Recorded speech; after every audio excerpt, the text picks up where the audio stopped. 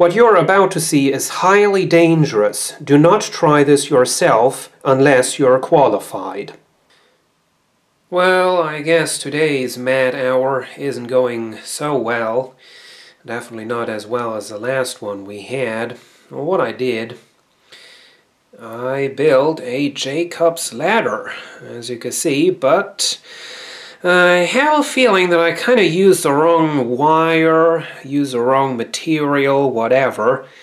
You can see there it is, just the classic kind of setup. Sitting in front of the window, where it does not really belong. Anyway, um, definitely not getting the kind of reaction from this that I would like to have, but since I am getting a bit of a reaction from this, uh, I thought I might as well get this on camera because I think it's kind of funny. So here we go. Let's see what this does.